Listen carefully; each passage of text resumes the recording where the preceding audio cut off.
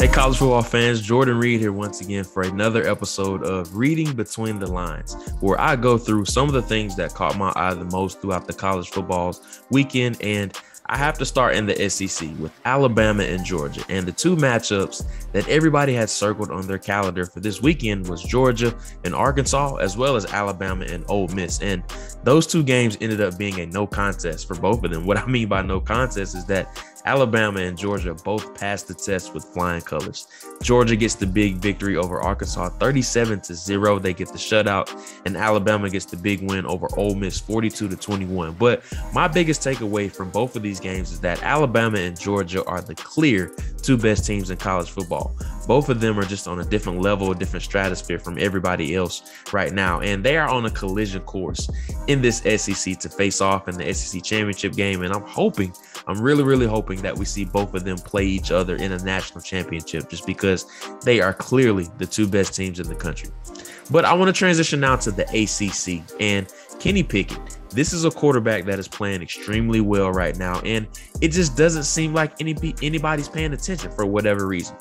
Pickett has 14 touchdowns over the last three game stretch right now, which was uh, a record that was previously set by Dan Marino. Dan Marino had 13 back in 1981.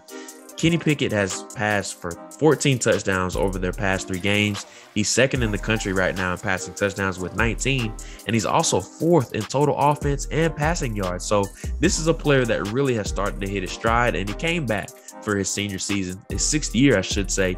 And everybody was questioning what was the reasoning that he came back, but he's really unlocked the next stage of his development. But it just seems like there isn't anybody paying attention to him. So Kenny Pickett is a player that I have a gold star beside right now. I can't wait to go down to the Senior Bowl or the East West Shrine game, whichever one that he does end up playing in, to watch him play, just to see him throw the ball in person and just to see how much better he has gotten and he's clearly unlocked the next stage of his development. So Kenny Pickett, more eyes need to be on him, especially with how underwhelming this quarterback class has been overall. But if we're talking about a quarterback that could go anywhere from the fourth, fifth, or even the sixth round, somewhere in that range, he may even go earlier. He's one player that I definitely could see some team falling in love with somewhere on day two or day three. Staying on the quarterback train, and even I really like what has happened with this Cincinnati program, quarterback Desmond Ridder. That is my next point. And I really like what he showed against Notre Dame. But it's not just Desmond Ridder. I think this was one of the biggest wins in program history for the Cincinnati Bearcats. Luke Fickell has this program rolling right now.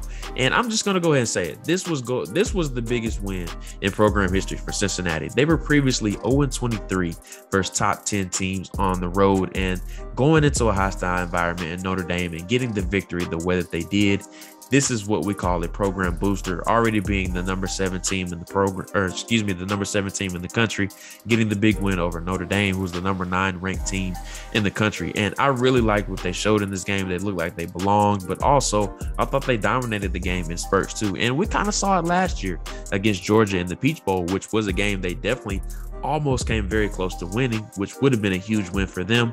But they get their revenge and they end up going into Notre Dame and getting the victory, which is a huge, huge win for the Cincinnati Bearcats, a team we could see even sneak into the college football playoff if they continue to win and take care of business down the stretch of the season. Be sure to like and subscribe to the Draft Network on YouTube and stay tuned for more content throughout the college football season.